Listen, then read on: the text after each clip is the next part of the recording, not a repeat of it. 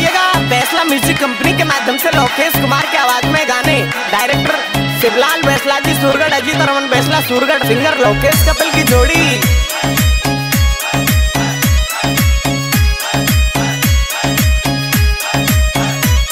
देवरिया मोते के बेकर